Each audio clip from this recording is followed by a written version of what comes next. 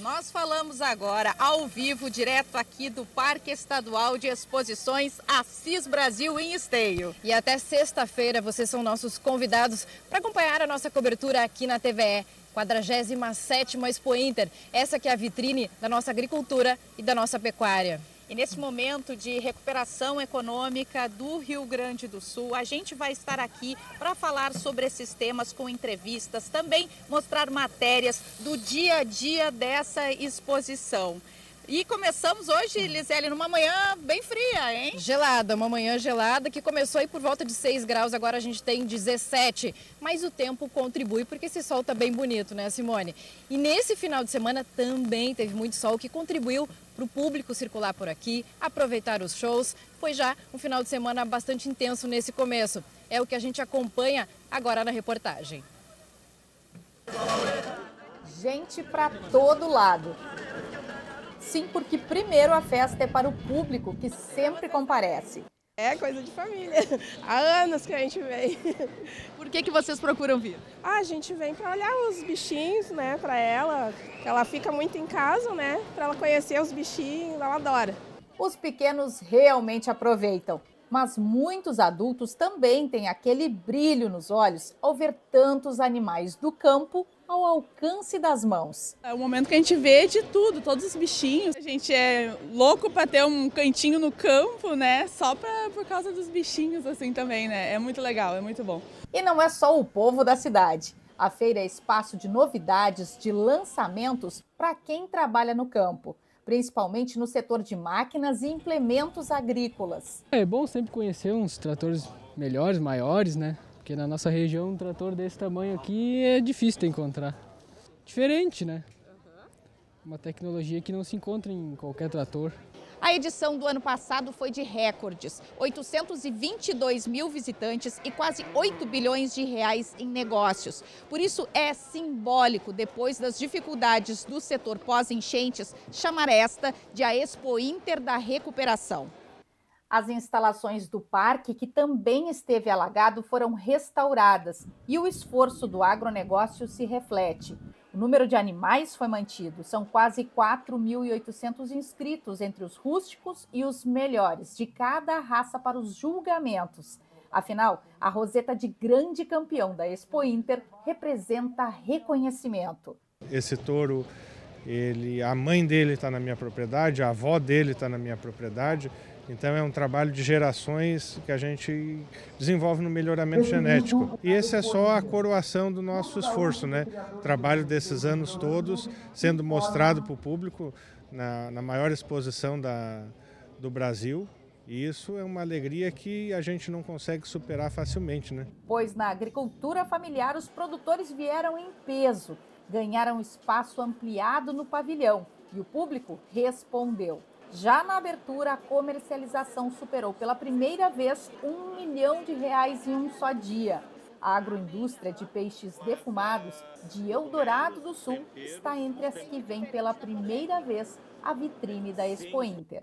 Reconstruir as empresas é fundamental e fortalecer aquilo que a gente desenvolve. Isso não tem preço. E o povo gaúcho, tendo a oportunidade de conhecer coisas novas, inovadoras, diferentes, ele é muito aprazível isso.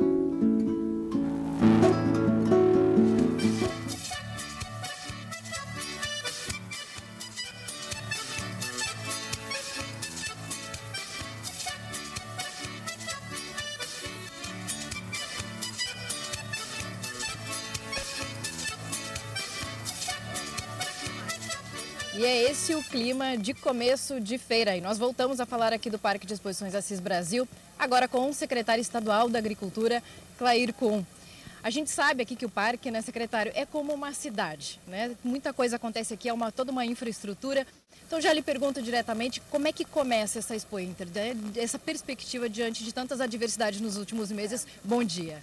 Começamos com o pé direito, sol, clima bom, frio, mas um clima ótimo para visitar a Expo Inter, para fazer bons negócios, grandes palestras, um passeio com a família, é a integração da cidade com quem não tem o privilégio de ter o contato com os animais, aqui vai ter. Mas também, para quem quiser desestressar, uh, curtir um pouco shows que estamos apresentando, questões culturais, é um diferencial. Colocamos este ano à disposição é, o nosso governador de Estado, Eduardo Dentes, olha, precisamos reerguer o Estado. Foi uma determinação dele que a gente fizesse essa feira com unanimidade dos nossos copromotores. Isso traz essa satisfação de estarmos aqui. Aliás, se olharmos aqui onde estamos agora, neste exato local, há mais menos 100 dias atrás tínhamos 2 metros de água, ou seja, estaríamos encobertos pela água aqui. E recuperamos, reestruturamos, como o agricultor faz em casa, na sua propriedade, reestrutura, recupera, bota de pé, recebe as visitas e toca a vida para frente. Mas, certamente, é o recomeço, é a reconstrução pela Expo Inter fala, né? Essa Expo Inter da reconstrução. Já aproveito também para lhe perguntar a questão do, da produção, dos produtores. De que maneira a Secretaria está uh, orientando nesse momento os produtores diante de um cenário bastante difícil, né? Ali os vales, a região dos vales do Taquari, do Caí, uh, foi bastante atingido, o solo também bastante prejudicado, né? De que maneira está esse trabalho, esse encaminhamento com a Secretaria diretamente com os produtores nesse momento? Olha, inicialmente a gente fez um trabalho a campo com nossos doutores, eh, os extensionistas da Imater, com as universidades, entrar na propriedade e ver de fato o que lá está acontecendo. Tem propriedades que não tem mais nem o solo fértil, a camada de fertilidade foi-se embora, tem um chão compactado. Em outros lugares temos depósitos de areia. Em alguns lugares temos também as condições, inclusive que a propriedade tinha 10 hectares, mas o rio passou e levou 2 hectares. Mudamos até a questão de APP. Então nós temos um trabalho, várias secretarias, a SDR, o meio ambiente, nós, as universidades, estudando os solos e as ações que serão feitas trabalho de campo vai resultar num programa de solos. Alguma coisa já estamos na SDR. Nós também na Secretaria da Agricultura, em conjunto com a Secretaria do Meio Ambiente, também, mais uma vez, é bom dizer isso, logo estaremos apresentando programas que ajudarão a recompor a, a questão ambiental, mas principalmente a fertilidade e a rentabilidade da propriedade rural novamente trabalho aí para os próximos meses, para muitos meses, né, secretário? Não seria de, um, de, um, de, uma forma rápida, ainda em conjunto, nessa parceria com, com conhecimento que já existe no Estado. Perfeito. É, tem algumas ações que são imediatas, tem outras ações que vão levar alguns dias, uns meses, mas tem umas que vão levar até 10 anos, quem sabe, para recuperarmos plenamente. Todos os estragos foram feitos nas principais regiões afetadas, principalmente Vale do Caí, Taquari, Rio Pardo e também ali o Rio Jacuí.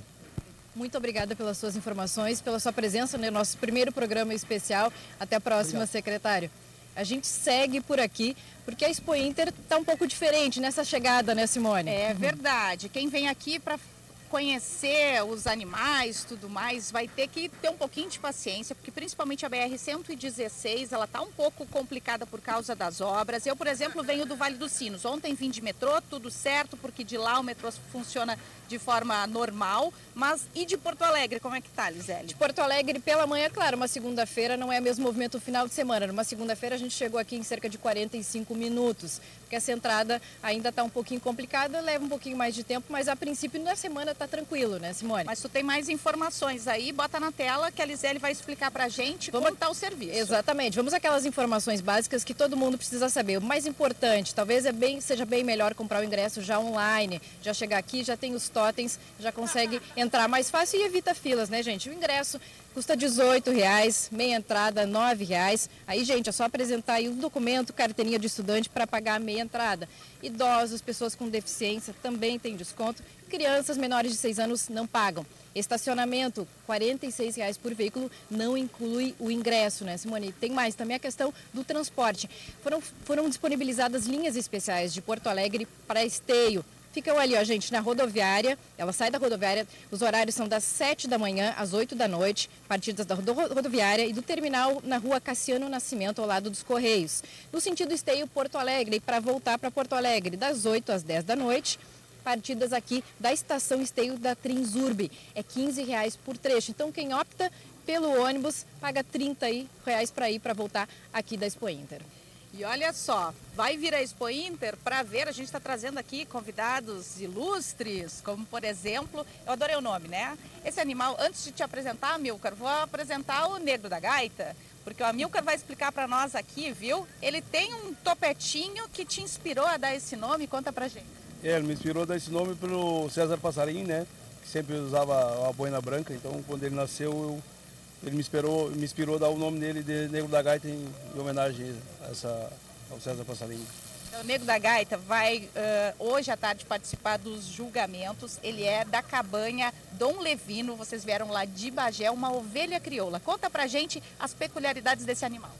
A ovelha crioula é uma raça nativa nossa do Brasil. Ela, quando os eh, imigrantes vieram, os jesuítas vieram para o Brasil, fizeram alguns animais e desses animais surgiu a raça crioula. Então, ela é, tem muita resistência à verminose, problemas de casco porque foi, foi feita uma seleção natural, que, que era ruim morria, que só sobrevivia o que era bom. Então por isso que ela é bastante resistente.